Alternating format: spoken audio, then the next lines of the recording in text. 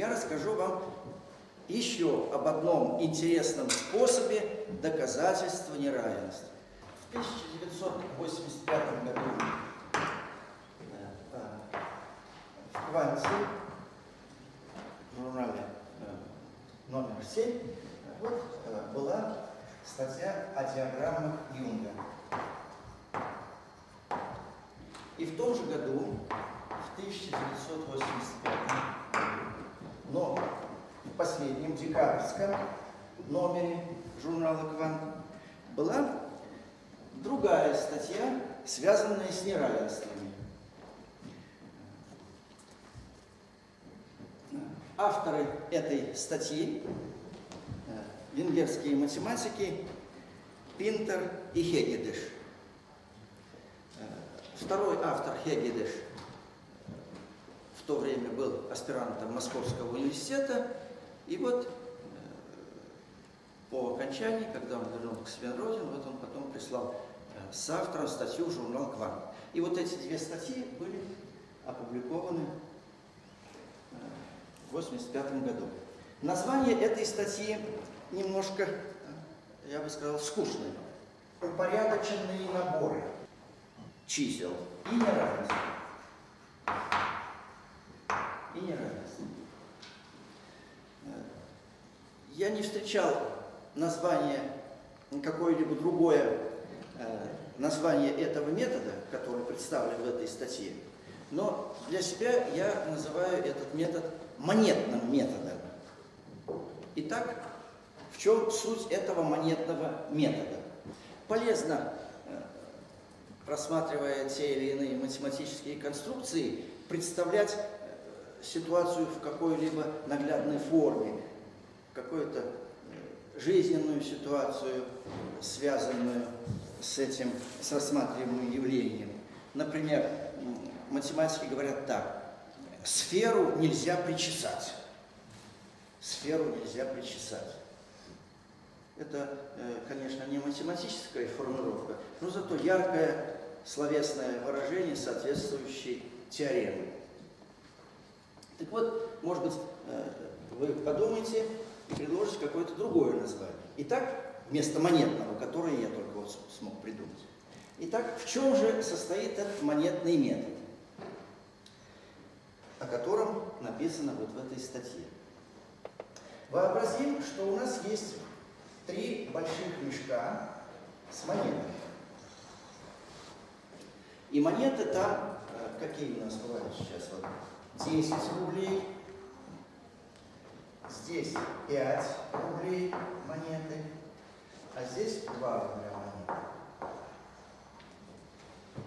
И вам разрешается взять из одного мешка, допустим, 4 монеты, из другого мешка, скажем, 6 монет,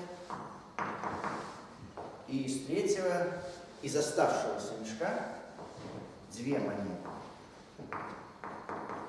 Вот условия задачи. Из какого-то одного можно взять 4 монеты, из какого-то из оставшихся двух 6 монет, ну и из которого вы ничего не брали, еще две монеты. Вот как вы будете действовать, если вы хотите получить максимальную сумму? Значит, я буду писать S сумма. Можно написать максимальная или наибольшая, но максимальная. Так. Как вы будете действовать? Пожалуйста. Ну, соответственно, наибольшее количество монет из мешка, где монет с наибольшим номиналом, ну, то есть 10 рублей. 6 монет по 10. Значит, 6 э, монет мы, возможно, или правом взять 6 монет, мы воспользуемся применительно к первому мешку, что вот так вот, да. Самый... Дальше возьмем второе пока ну, 4 монеты по 5 рублей, потому что да. это вторая монета по номиналу и... Ну, а тут уже самых мелких и меньше всего их возьмем.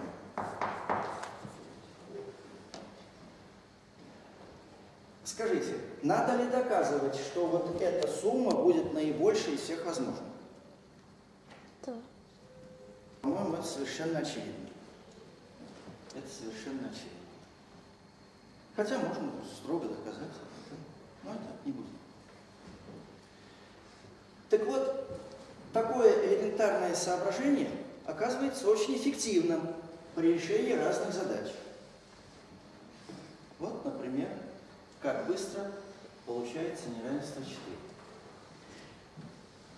Итак, три числа А, Б, С.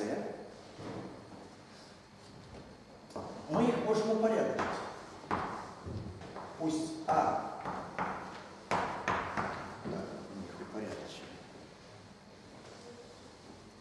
Пусть частности они быть равны, упорядочены по убыванию. И будем на эти числа смотреть как на монеты. Это вот монеты в первом мешке, во втором, в третьем. И наряду с этим набором рассмотрим обратные величины. Числа 1 делить на 1 делить на b, 1 делить на. Понятное дело, что самое большое будет какое число из обратных? 1 делить на c. Да, c маленький знаменатель. Имеем два упорядоченных набора чисел. Я позволю себе все-таки сказать, что, что мы это будем как мыслить как монеты, вот эти числа, как монеты мы будем числить, э, представлять себе. А вот эти три числа – количество монет. Посмотрим, какая здесь э, сумма может быть самой маленькой, наименьшей. мы теперь решаем не задачу выбора или получения не максимальной суммы, а наименьшей. Значит, самые дорогие монеты А, мы их возьмем как можно меньше. Значит, А умножим на 2. Значит, А и 1 делить на А у нас сыграли. Теперь у нас монеты Б и С. Б – дорогие монеты, мы их возьмем как можно меньше то есть их количество будет 1 делить на b. Ну, для c то, что осталось. c 1 делить. Это минимальный набор, и получается у нас тут единица. Или нет? Три. Три. Три. Три. Получается три. Это правая часть неравенства 4.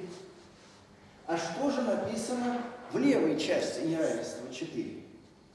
Максимально. Тут берется монета А. Монеты А берутся в количестве 1 делить на b. Монеты Б берутся в количестве 1 делить на c. И монеты С берутся в этом количестве. То есть вот эта сумма заведомо больше наименьшей. Значит, можно написать так. Левая часть, левая часть неравенства 4, конечно, больше трех, потому что это какой-то другой набор. Это не наименьший, это не набор, гарантирующий там наименьшую сумму. Ну или равно, естественно. Это понятное дело, это уж детали такие не говорю. Вот так. Смотрите, Итак, какая же мораль вытекает? Вот это основная идея этой статьи. Она может быть изложена вот Секунду, кстати, на самом деле еще один случай надо разобрать. Когда наоборот А больше или равно С, больше или равно Б. Дело в том, что ведь у нас неравенство циклическое, то есть после А идет Б, после Б идет С, после С идет А.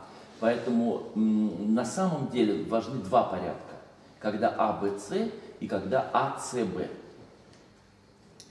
Спасибо, Александр Васильевич. Выражение, стоящее в левой части раз, не является симметрическим относительно А, Б и С.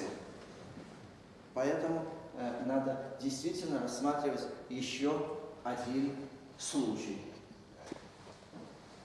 Но я позволю это оставить аудитории на самостоятельное рассмотрение, чтобы была возможность вернуться, э, посмотрите журнал и еще раз подумайте, вот что значит здесь не симметрия, да? Но мы, кажется, э, говорили вначале, когда домножали в первом способе решения 13 на ПЦ, доказывали, что здесь нет цикли, нет симметрии.